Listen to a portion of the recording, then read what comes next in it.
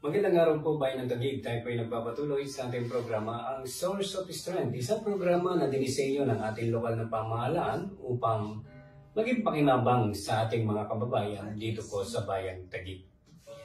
Mga minamahal, talakayin po natin ang patungkol sa pag-ibig ng Diyos. At ang month of February, we celebrate love. At yung love na minsan ay pwedeng maging forever.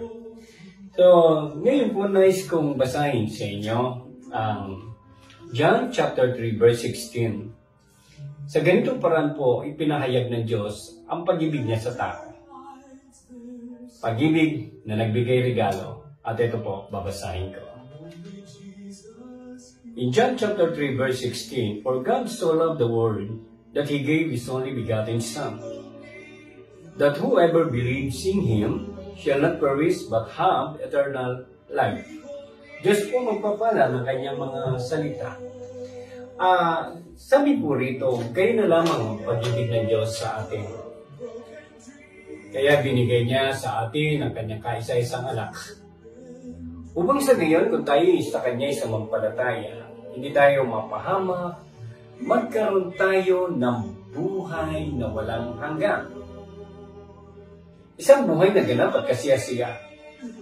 Buhay na tanging ang Diyos na pwedeng magkaloob sa iyo, sa akin, at sa ating lahat.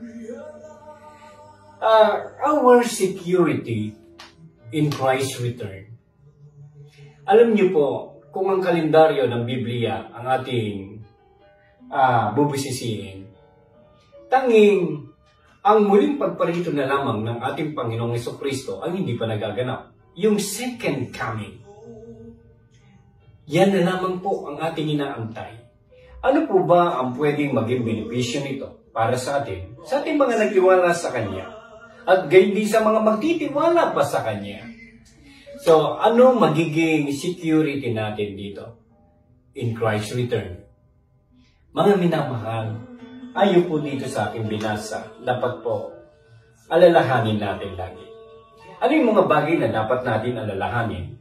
Una, yung gayon na lamang ang pag-ibig ng Diyos. Napakalalim po ng pag-ibig ng Diyos sa iyo. Hindi lamang sa iyo, maging sa akin at sa ating lahat. Ganun po kalalim ang kanyang pagmamahal sa atin. Dapat po from time to time, sariwain natin ang pag-ibig ng Diyos na gayon na lamang. Alam niyo po yung salitang gayon na lamang ay hindi po natin kayang sukatin niya. Ano po? Sapagkat gayon na lamang o sukdulan hanggang langit ang pag-ibig niya sa atin.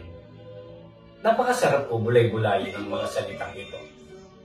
Napakasarap marinig, malaman mo sa kabila ng lahat na tayo nagkasala, tayong makasalanan. God loves you. He dies for you.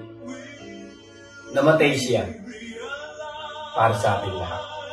At dahil niya sa kamatayan na yan, ay isama rin po natin ito sa dapat nating alalahanin. Sabi ko nga kanina, una dapat alalahanin natin na gay na lamang ang pag-ibig ng Diyos sa atin. And secondly, uh, remember Christ's death on the cross for you and for me. Yung kamatayan sa krus na yon, nung mabayubay ang ating Panginoong Iso Kristo. Ito po yung katuparan nung sinabi ng Panginoon na gayon na lamang ang pag-ibig niya sa iyo, sa akin, o sa atin. Masarap po na bigyan natin ng pansin ang salitang ito ng Panginoon. Mga minamahal, kung sa mga pagkakataon, bigyan pa tayo o loobin pa ng Panginoon ang pagkakataon, patuloy po natin pag-aaralan ito. At pakatandaan nyo, dalawang punto pa lamang po ang ibinabahagi ko sa inyo. Una, remember the depth of God's love for you, for me, and for everyone. Number two, remember Christ's death on the cross for you and for me, and for everybody. At meron pa po. Lobi ng Panginoon, itutuloy po natin to sa susunod na pagkakataon. Hanggang dito na lamang po ang ating tinatalakay at tayo po ay magpatuloy na manalangin sa ating Panginoon. Samahan niyo po ako. Manalangin tayo. Mabaging Diyos, maraming salamat po sa pag-ibig mong gayon na lamang. Hindi mo ipinagkait ang yung bugtong na anak para sa amin. Namatay siya sa krus para sa amin.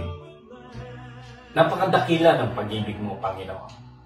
Tunay na marapat ka sambahin. Dakilain. Pasalamatan sa lahat ng pagkakataon. Thank you, Lord. You love us. Thank you, Lord, for your great love for us. Maraming maraming salamat, Panginoon. Pagpalay mo aming mga kababayan sa Taguig. Pagpalay mo po ang mga nakakasubaybay ng mga programang ito. Ngayon din, Panginoon, Inataas namin sa iyo ang aming buting Mayor Lino Cayetano. Patuloy mong pagpalain ng kanyang panunungkulan.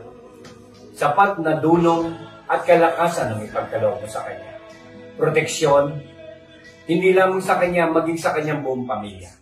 Pagpalain mo po si Mayor Lino. Salamat po. Ito po ang aming samot na langin sa ngalan ni Kristo Jesus. Amen.